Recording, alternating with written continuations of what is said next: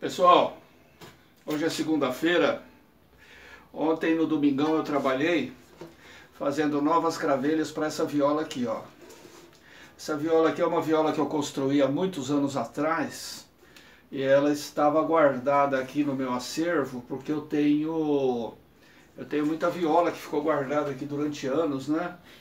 É, violas que eu fiz há muito tempo e essa aqui é uma viola de cravelha. Eu adoro o instrumento de cravelha, né, e tal. E eu vou é, recomeçar a usar essa viola de novo no, no, nas minhas coisas, tá? Agora com a minha oficina nova lá, eu tô pegando os instrumentos que estavam aqui, tô levando para lá. Então tinha muito instrumento parado aqui na parede e tal, né? Essa aqui é um bom exemplo. Ela estava guardada aqui, eu acho que já há uns, uns 10 anos mais ou menos, ou se não tiver mais, tá? Ela é do tempo do galpão. Eu já viajei com ela há muito tempo e só que eu troquei o tampo há, há um tempo atrás, aí eu troquei o tampo dela, né? Então eu vou, eu coloquei cordas nela ontem, ainda está um pouco instável, né? Mas já dá para mostrar o timbre mais ou menos e tal. Já dá para já dá para ver como ela soa, né? Então eu vou mostrar um pouquinho do timbre dela para vocês. E esse aqui é mais um vídeo mostrando violas de cravelha, né? Que eu tenho muita viola de cravelha, eu gosto de tocar. Eu só toco viola de cravelha, para falar a verdade. Poucas vezes eu uso aquelas violas de tarraxa, né? Eu tenho uma viola do Índio Cachoeira aí, maravilhosa, e quando eu preciso de uma viola de tarraxa assim, eu uso a dele. Mas eu toco mais as minhas violas de cravelha mesmo, tá? Eu vou mostrar o timbre dela aqui como é que tá.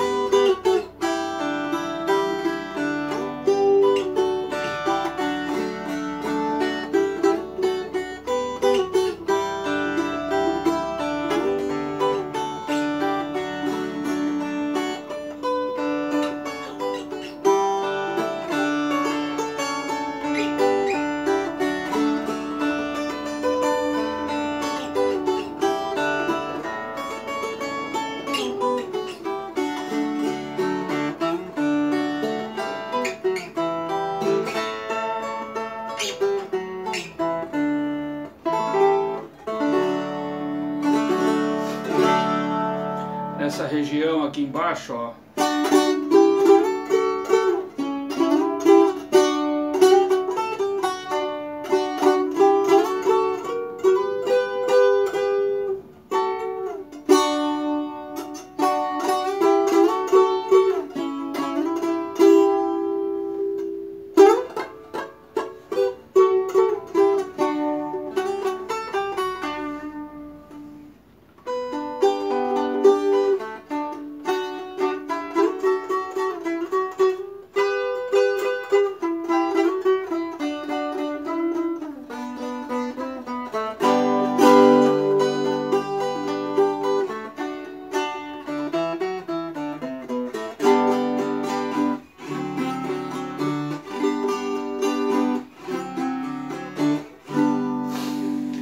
Pois é, esse tipo de viola aqui é o seguinte, é uma maneira antiga de fazer viola, todo mundo já sabe, eu já falei isso 200 vezes no meu canal, né? já estou me tornando repetitivo. Essa é uma maneira antiga de fazer viola. Viola, a, o, a escala, o braço vinha só até o corpo, não ia para baixo, né? Era de cravelha de pau, cravelha de madeira, não tinha tarraxa metálica e tal. Tinha cavalete, mas teve uma época também que o a corda era colocada aqui, ó, na bunda da viola, tá vendo? Então esse cavalete aqui, ele é inútil, ele não precisa, né? Não, não precisa ter o cavalete, porque a corda vai aqui atrás, tá bom?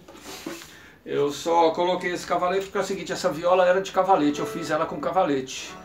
Depois, quando eu quis recuperar ela, eu quis fazer esse sistema aqui, que eu acho mais seguro. Porque o cavalete resseca e tal, né? E ele descola com o tempo e tal, então esse, esse jeito aqui é mais seguro. Esse jeito é, é a maneira que se coloca a corda no bandolim, na guitarra portuguesa, né? É um jeito muito antigo, na viola fazia-se isso também antigamente. Tá?